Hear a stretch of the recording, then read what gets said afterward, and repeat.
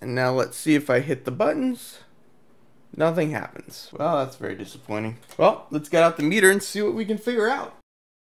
Hello, and welcome to Humancity Junction, where the big city intersects with humans. Today I'm going to work on a project where I test whether I can get a button push to trigger the uh, DR4088LN. The DR4088LN is a LocoNet current sensing detection device. Uh, it's usually used for blocks detection for locomotives or with freight cars with resistors in them across the wheels. I'm using it slightly outside what it's designed for. My intention is to use it for button pushes. My goal is to program in JMRI so that when I push a button, it sends a trigger to JMRI, which then runs a sequence of additional events. This resistor should be a 75 k ohm resistor. So I did the math and at the 15 volts coming in, that should give me the correct the correct amperage that I want for current sensing.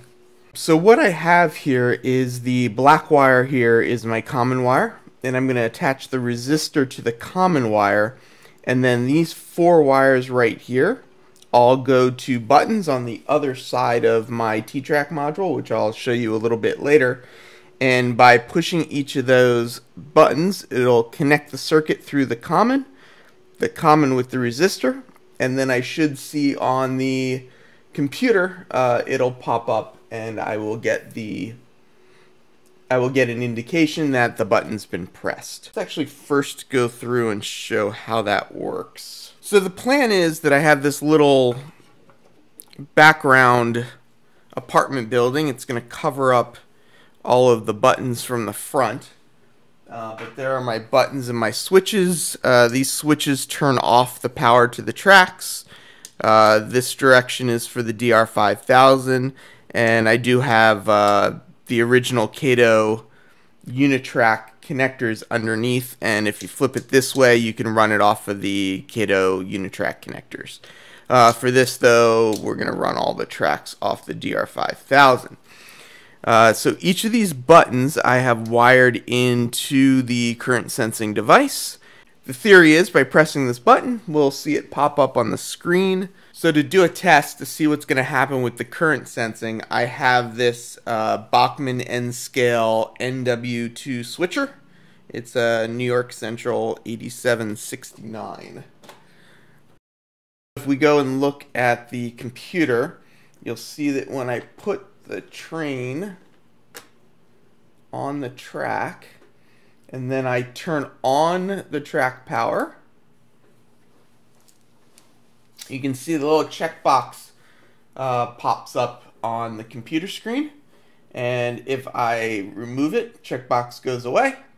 I put it back on, checkbox comes back.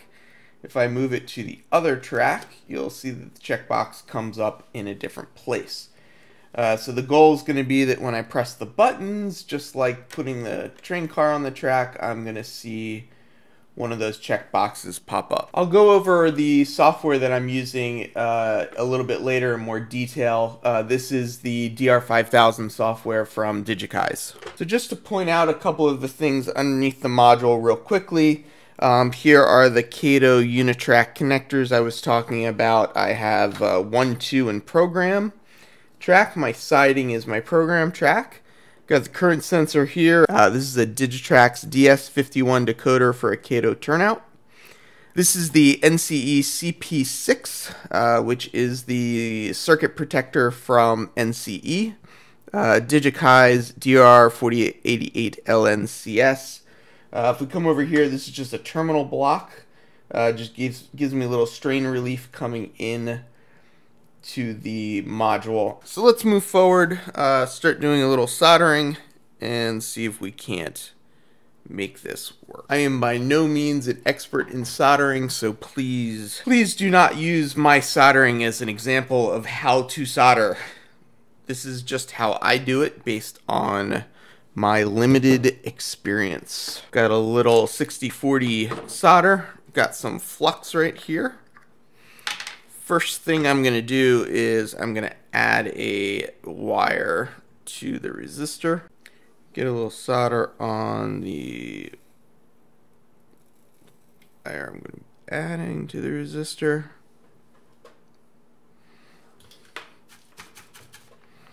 Now if I take these, get them close enough together, so I'm just going to do a little bit of a twist here just to help keep things together while I'm soldering it. So I've twisted the wires together. I'm just going to heat this up and just add a little solder in here. I'm going to take some heat shrink tubing and just throw it over the top of this just to protect that wire connection a bit. And I almost forgot, get your heat shrink tubing on before you solder the wires together.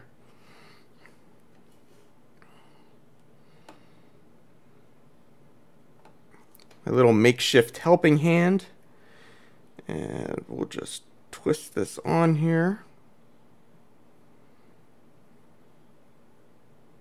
Now I'm just going to take and we'll add a little bit of solder.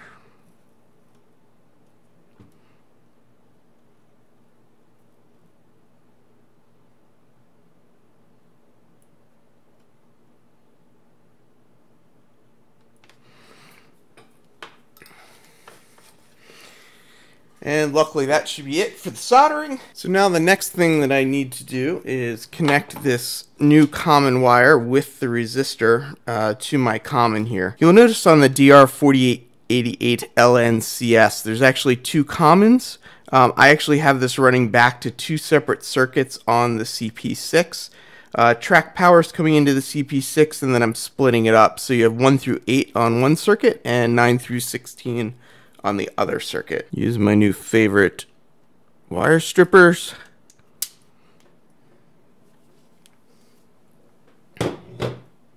strip that back.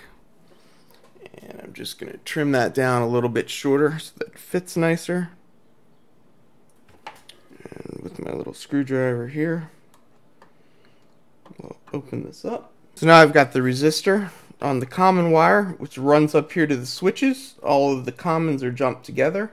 And then I've got individual red wires coming back for each of the different uh, sensing sections 10, 11, 12, and 13. So now what we're going to do is we'll flip this back over. Get the track power hooked back up.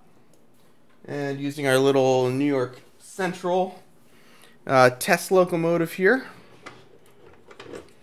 let's just confirm that, uh, just confirm. There we go. So we're getting our little check boxes, and now let's see if I hit the buttons. Nothing happens. Well, that's very disappointing. Well, let's get out the meter and see what we can figure out.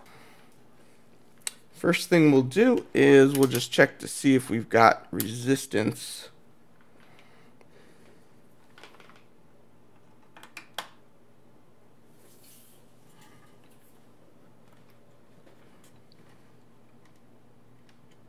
So it goes from 4.72 kilo ohms. When I press the button, it drops. So here's an interesting question. If I meter it across the track. Okay, so this is on the track, and this is on the buttons. So they're all reading the same with nothing connected. And then when I push the button, when I push the button, it cuts in half. Alright, well, let's see if we can figure out what happens when the train is on the track. Touch the car, I get the X popped up. It goes to minus 50 ohms. So what I think I just found out is that I'm going to need a lot more resistance. When I initially started this project, I thought I knew what I needed to do to get a button press to detect current on the 4088LN. Um, this didn't work. I'm sure I've made a fairly simple mistake. Uh, at this time, I don't know what the mistake is. So I'm going to post this video and I'm hoping that if you follow along through the video, you'll see what I did wrong and you'll know what I need to do to fix it. Thank you for watching and please leave any comments or questions below. Please subscribe so that you can follow along with my project. And have a great day.